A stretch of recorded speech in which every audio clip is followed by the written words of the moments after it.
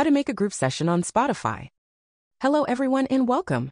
In today's video, I will present you a very interesting and useful option that Spotify has recently had. It's about creating a group session in which you can invite your friends, whether they are close or a little further away from you. To set it up, we'll open Spotify. When Spotify opens, we select the playlist we want. We will do that by selecting the Your Library option from the bottom menu. Here we will select a playlist. When we have chosen the playlist, we will simply play it. After that, tap on the player located at the bottom of the screen. A large number of options will open here, of which we need the one located in the lower left corner of the screen. It's this speaker icon. We tap on it. In the pop-up window, we can choose which devices we will listen to music on.